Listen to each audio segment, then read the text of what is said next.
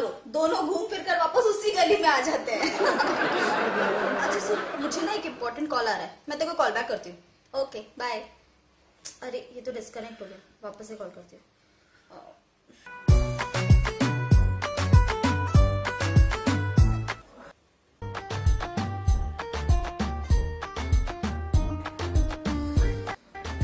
पीछे से तो आइटम बाकी आगे से प्रियंका चोपड़ा से परिणीति से काम चला लूँगा।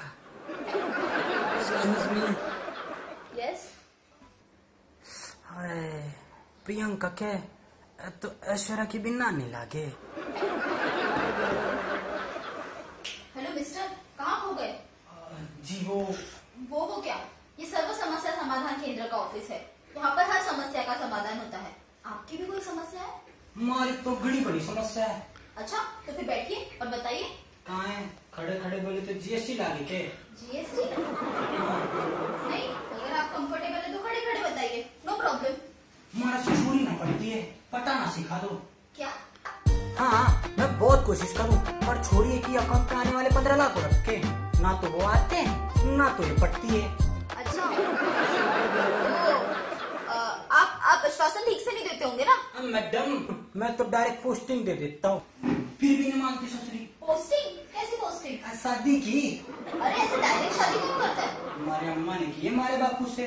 हमारे अम्मा ने बापू को तो देखा था कहीं था? अरे वो उस जमाने में होता होगा। आजकल की लड़कियाँ ऐसा नहीं करती है। तो कैसे करती है?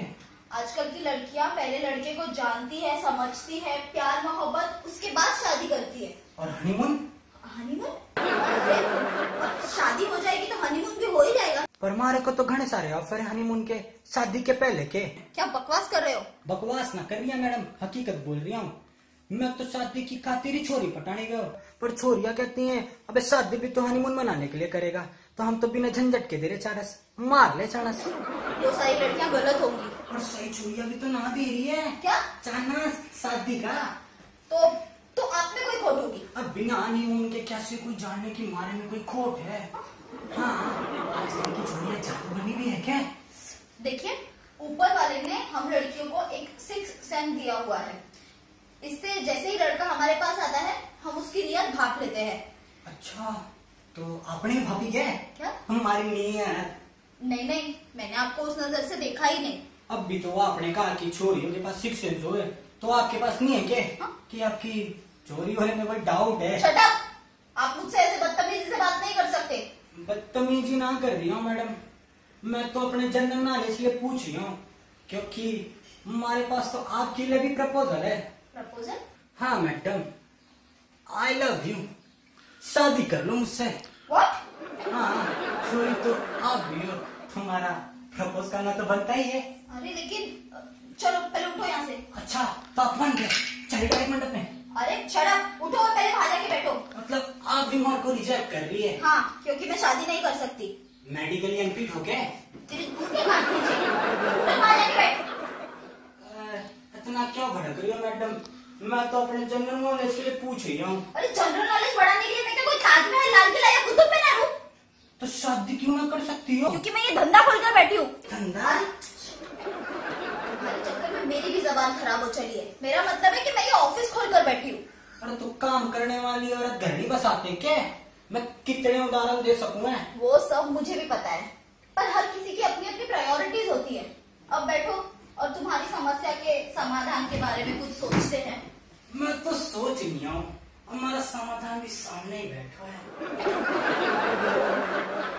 मैंने कह दिया ना मुझे शादी में कोई इंटरेस्ट नहीं है।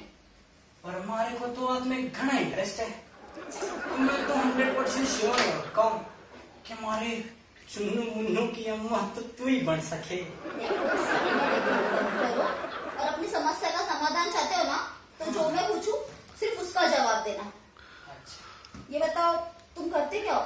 रोज बारह बजे सो के उठता हूँ एक घंटा योगा करके खाता पीता हूँ और फिर मर्सिडीज से बैठ के छोरी पटाने निकल पड़ता हूँ। मर्सिडीज में हाँ जी कभी कभी तो ऑडी शॉडी लेके निकल पड़ता हूँ। ऑडी यानी तुम अच्छे खासे रईस हो हाँ जी हमारे बापू का नाम तो सुनो ही होगा महेंद्र सिंह चौटाला। वो इंडस्ट्रियलिस्ट हाँ जी उनका एक लौता छोरा हूँ मैं। यानी तुमने ये जो सब पहना है ये सब असली है? और ये कपड़े भी सारे ब्रांडेड है। और क्या? अरे यार तो फिर तुमसे कोई लड़की क्यों नहीं पढ़ रही है? तुम्हें कोई बहुत बड़ा खोट होगा। अरे मैडम इस इधर से तो तीन बार चेकअप करा चुका हूँ। डॉक्टर कहते तो मैं फिजिकली टोटली फिट हूँ। तो मेंटली प्रॉब्लम होगा। अरे तो शादी में मेंटल के के काम? हाँ हमारा मतलब है कि माइंड हो गए तो बीवी आके मेंटल कर देना है। अच्छा आपकी अम्मा ने आकर आपके बापू को अगर मेंटल कर दिया होता तो क्या वो इतने बड़े इंडस्ट्रियलिस्ट होते? अब कोई ना कोई अपवाद तो हो ये माँ मदर इंडिया इज़ ग्रेट हर लड़की ग्रेट होती है। मैं न मानता। अरे? तो क्या छोरी ग्रेट होती? तो कोई तो एक मारे से पटती। अरे पढ़ने का और ग्रेट होने का क्या कनेक्शन है? अच्छा तो अब आप ये कहेंगे कि अंगूर और किशमिश के क्या कनेक्शन अरे अंगूर सूखे तो किशमिश बने। लड़की पटे तो बीवी बने। हर लड़की ग्रेट होती है। इसीलिए वो हर किसी को नहीं पट जाती। लड़की पटने से पहले बहुत कुछ देखती है। जैसे कि?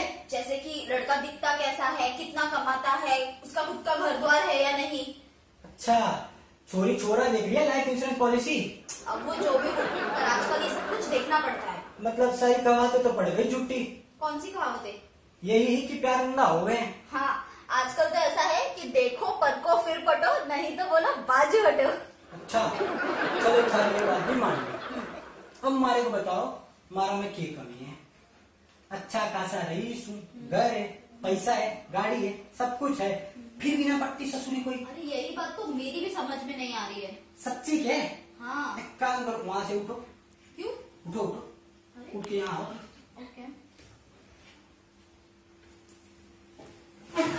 हो सर्व समस्या समाधान केंद्र खोल रखा है। हाँ। और थारे पास हमारी समस्या कोई समाधान नहीं तो तेरा खे काम इस कुर्सी पे। क्या? हाँ आधी अरे है। तुम ऐसा नहीं कर सकते मैडम करने पे आ गया ना तो तारी पे ठगी का केस भी ठोक सकूँ मैं। ठगिया केस?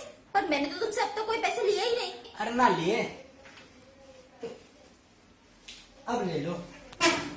यानी तुम मुझे फंसाओगे हाँ मैं तो इज़्ज़त से प्रपोज कर रहा था पर तुम मानी के तो अब तो फंसाना ही पड़ेगा। देखो प्लीज़ ऐसा मत करो। प्लीज़ प्लीज़ मुझसे शादी कर लो तुम किसी भी आम लड़की के लिए एक लाइफ इंश्योरेंस पॉलिसी ही हो पर वो जो तुम्हारे करोड़पति माँ बाप है ना वो कभी हमारे रिश्ते को एक्सेप्ट नहीं करेंगे। ना ना वो मान लेंगे।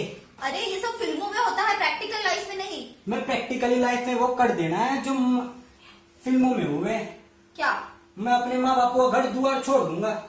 अच्छा तुम अपने माँ बाप का घर द्वार छोड़ दोगे? हाँ। तो फिर तेरी औकात क्या बची बे?